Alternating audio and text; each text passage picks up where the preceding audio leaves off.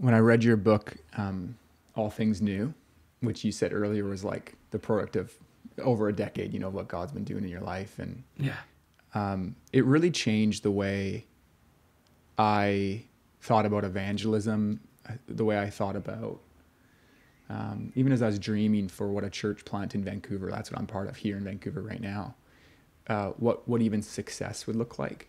Yeah. Like it really gripped me with a vision that I think God was already doing in my heart, but just an expanded vision and um, of what it of what God's doing and what the gospel message is that Jesus has come to make all things new.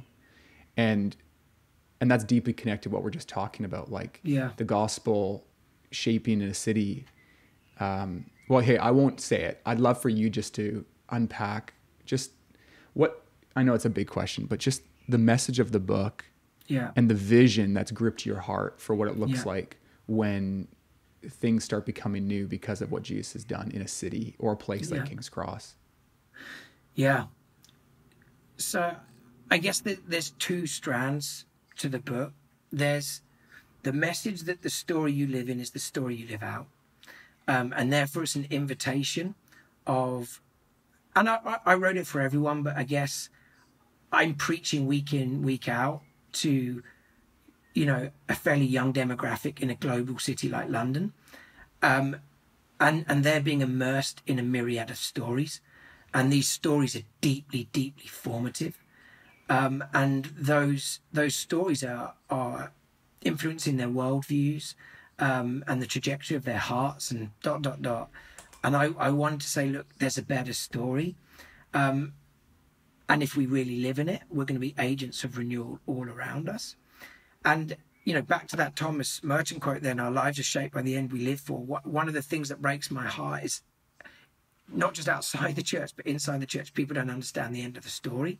So the hmm. kind of stereotype of like we die, we leave our bodies behind, we ascend to some sort of disembodied bliss where we ride around on clouds and drink Red Bull and sing Here I Am to Worship. Like, I mean, it's it's fun and the royalties will help my brother.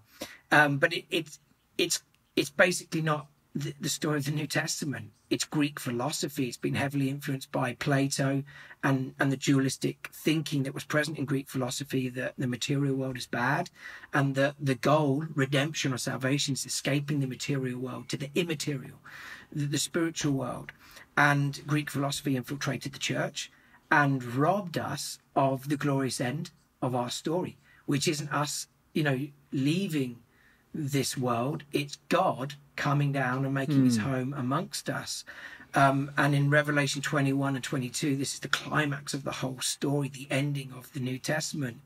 Is is the Apostle John who's writing it down says, Look, as I see God making his dwelling place, suddenly there's no death and there's no grief and there's no crying and there's no pain, the former things. In other words, all of the pain and the brokenness of the world, you know, that, that that's left behind, and then God sits down, as I said before, says, Behold, I'm making all things new. And in the Greek language, you've got two words for new. You've got neos, which means brand new, and you've got kainos, which is something old that's restored to its former glory. And when God says, Behold, I'll make all things new, the word kainos is used. In other words, I'm going to restore everything to how it was in the beginning in the Garden of Eden, when there was no sin, no sickness, no suffering, humanity fully alive in relationship with God, in relationship with one another, and in relationship with created order. And, and our story is a restoration of what began in the very beginning. Um, so if that's the end of our story and the end we're living for, then that story has everything to say about banking and the fashion industry and the music industry and the realm of education and the charity sector and family life. And I, I just got frustrated with hmm. like a church message which was more about church growth than the, about the renewal of all created order. I got bored by people talking about your job as a banker is to tell other bankers about Jesus. Like I want to say, like, yes, proclaim the gospel wherever you can. But your role as a banker is more than just telling other bankers about Jesus. It's the renewal of the banking industry. It's fighting cycles that sort of promote greed and finding a better way to manage money. And those in education, it's not just about getting grades and rating people, it's about developing children that can flourish and grow in wisdom. And, you know, fashion isn't just about exploiting people, it's, it's about beauty and promoting beauty and dot, dot, dot. And I kind of felt like the church wasn't in these conversations about, you know, seeing beauty break out. I felt like if you wanted to be in that conversation, you'd go to TED. And it's like, oh no, no, but we've got we've got a narrative that if we live in, we'll live out. And that narrative is about the renewal of all things. We should be at the forefront of those conversations. Um, and that's really what the book's all about. Hmm. I love that. I love that so much. And I know that's really shaped, um, like the, it's shaped your church. Like it's shaped yeah. where you guys put energy and time. And I wonder if, if practically you could speak to some of those things. I think about like even I don't know if this is still active, but you know, part of your story has been having a co-working space and yeah. the way you've participated early on in the story. I know you partner with like commander of the police department yeah. and different things. And like, as you've actually tried to live into that story, what does that actually look like boots on the ground as you've tried to actually invest the limited resources of a local church yeah. and the people? Yeah. So I think it's, it's the understanding that the best way to redeem culture is to create culture um, and and therefore recognizing that if if in church that we can create businesses or ministries that contribute to the culture of King's Cross, then that's that's one of the parts we're going to play in the redemption of the story. So in the book, I basically talk about a summary of the whole narrative is creation, which is the Genesis, you know, kind of beginning, decreation, which is created order unraveling through sin, and talk about the ramifications of that. And then the final part is recreation, which is obviously the story of Israel that's fulfilled in the life, death, and resurrection of Jesus that ends with this Revelation 21, 22 kind of climactic moment. Um, and then Jesus fulfills that story of creation, decreation, recreation. You know, it's the creator who steps in to the decreation, to the mess. So the incarnation is the first move towards redemption.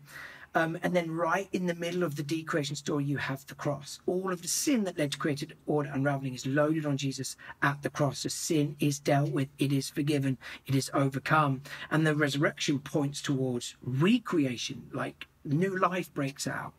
So if the way that Jesus fulfills the story, essentially incarnation, cross, and resurrection, that should give us a framework for cultural engagement. So, mm. firstly, incarnation, which means in flesh, we step into the pain. So we don't stand at a safe dif- distance. We basically draw alongside the, those that are hurting most. You know, that should be the church's response in this crisis around race. How do we draw alongside those that are hurting most? And how do we listen? Not jumping to try and be the answer, not just running towards activism, you know, to, to help ourselves feel better about the situation. Let's actually weep. Let's stand in the pain.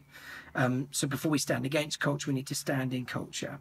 And then as we stand in, actually, that's where we begin to, you know, live out the message of the cross um, and be advocates for proclaiming the cross as the pathway to human flourishing and standing against the evil and injustice that we see all around us.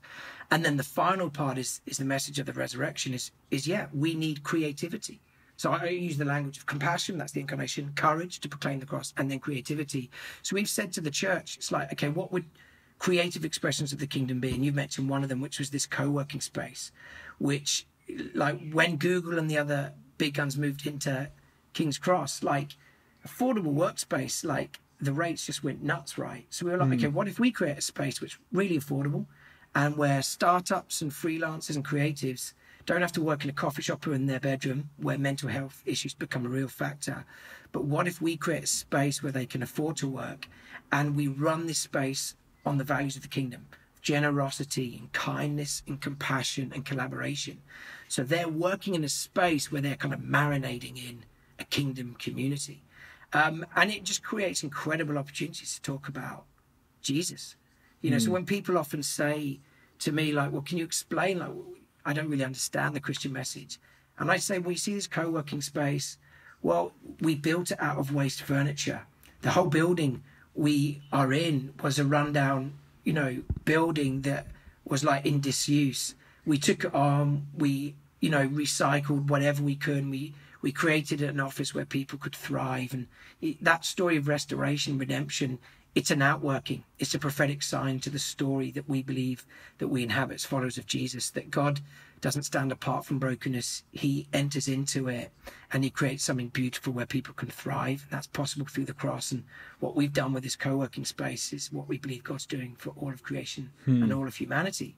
And you can see people think, ah, you know, I get it. I didn't know that. I thought it was about escaping Earth to sort of like ride on clouds. Like that's a different story. And the answer is is a different story. It's a far better story.